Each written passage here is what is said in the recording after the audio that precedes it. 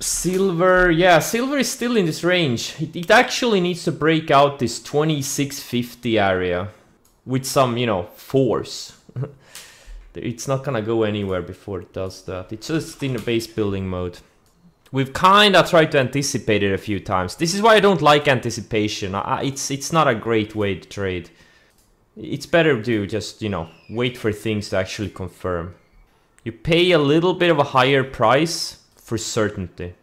Can I show where the breakout in shop would be? Uh, kind of about right here-ish. And if you use the weekly chart, maybe 1280 plus, but I think it's gonna do a pocket pivot thingy today. Come on, Snap is about to take out the excess highs from Friday. And it did exactly what SC did. Two, I mean, it's it's not even funny. It's it did exact same thing like SC did. Broke out, took out the lows of the day, found support on the rising moving averages, started building higher lows in the 60 minute, and then it's just straight up since. You you can't make it up. It's saying exact same thing. Broke out, lost the lows of the day, stopped us out, found support on the rising moving averages, built a wick on the 60 minute, and then it reclaimed. Went back into range, found support on the moving averages, and these triple ETFs, they make such big moves when they go. Much better to be in these than in individual stocks. I just looked back at, you know, stuff like TQQ, TNA, FNGU, etc., etc I would have been better off, instead of trading all those individual stocks, I would have been better off just trading those triple ETFs. Because they make bigger moves. I'm talking about the like the November to February period. With some exceptions, of course, but what's this Novum doing today? Okay, it's holding up, that's good. You know, when you have something like this, now it did close really weak on Friday, it kind of even took out the intraday lows, but if this thing holds up for a few days, build some higher lows on the 60 minute, you know, this could very easily have an ex um, explosive secondary move, like a flag break. The volume was enormous. And it gapped up above the moving average. If you look at, for example, uh, IROS today, look at where it gapped. It gapped to these moving averages. It couldn't reclaim the 100, declining 100 and 150 day gapped up below them and then just straight down.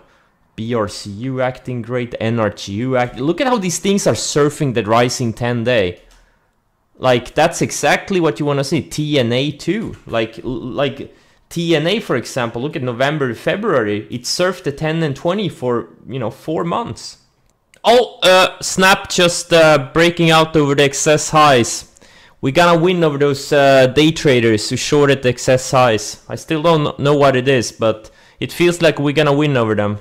Fubo too, later this week could be a sweet setup. This thing doubled. And now it's kind of uh, flagging. I, I think the 20D needs to catch up. Maybe another 3-4 days. And then it's gonna be interesting.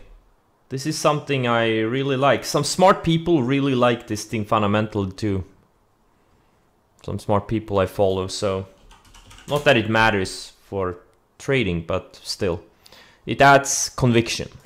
Do you know what AMC potentially reminds me of? It's a 20 billion market cap, so it's it's up what 400% from the from where it broke out from base. And it's kind of surfing the 10 day after this pullback. It really reminds me about QS this thing was too, it was up like 300% from the base breakout, 350%. It pulled back, found support on a rising 10 day, and then it started building higher lows. And it eventually went to 57 uh, billion market cap, or 47, sorry. So down here it was like 25 billion market cap or something. So that's something I'm gonna pay attention to. If you can go sideways for a few days, build higher lows, and then start grind higher, because that's something, you know, that has doubling potential. Beautiful intraday flag, man. These high ADR stocks, man, if you're a day trader and you, you you're awake, man, you can make so much money. Just focus on these uh, very liquid high ADR stocks that are in, like in play. So many ways you can trade them. Long, short, you know, just, you know, trade these like intraday bull and intraday bear flags. Uh, haven't read the Oliver Kell book. He had great returns last year. Um, so he's legit. I'm not uh, sure if the Shannon guy is legit. I mean, you don't know. You know, 99% of his uh, net worth could be from book sales. You don't know. I, am not sure. Does he have a re track record? I've, I've, I've seen that book uh, mentioned a lot of times. Well, Oliver Kell is, you know, it's probably not a huge account because this, yeah, a lot of the stocks he trades are very liquid you can clearly see, you know, you can get a good idea how big accounts people have by, you know, looking at the stocks they trade and mention. And when you see someone, you're claiming have a multi-decade inc incredible track record and then they mention some small cap stock that they're trading, you, you know they're full of shit. So potential flag setting up for later this workhorse and BBIG. These things could be very explosive. How did you go from 5k to 1 mil? Uh, 7, 8 years? No, no, no, that's for losers. I think I did it in, uh, you know what, I'll check. I went from 5k, let's see, from 2013. So my accounts, like this is after tax and um, after uh, commissions and after living expenses. So my accounts were 5, uh, actually 9k in 20, May 2013 that was the turning point for my trading. May Fannie Mae happened. 20 I was down like 50% on the year and that was the turning point.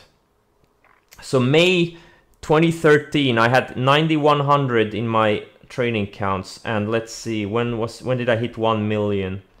Here January 2018 I hit 1.4 million. So somewhere in December 2017 is my account reached 1 million. So about three and a half years to get from 9k to 1 million. Like if you have a small account, guys, it, it's not hard to make a few hundred percent per year. It's not hard if you have a small account. Like really, you can make, if you're a short-term swing trader, you can make most years probably easily a couple of hundred percent. And that's the thing, you won't have a small account after a few years. That's the beautiful part. Imagine not rebuying that's that's you know you, you gotta if you get shaken out of a good setup you gotta get back in because the setup becomes stronger once you get stopped out of it and it comes back it's a stronger setup. That's what a lot of people don't realize. They're like oh this stock is the worst thing ever. It's gonna go on my do not trade list. And i used to be like that too. I'm still sometimes do that mistake but you know if the setup le legit good it becomes stronger after a shakeout, or even two shakeouts. My thoughts about Workhorse is it's flagging and building a great flag, like I've said like two times before today. Those are my thoughts. I think it could be a nice one later this week. It made a big move. It doubled in a few days, and now it's digesting this move and building a flag. It's it's it looks powerful. It looks explosive. BBIG too, similar. Except that Workhorse is coming off from lows, while BBIG is kind of, you know, breaking out of a range. Um, and also Beyond Meat also building a kind of a high tight flag type of a thing.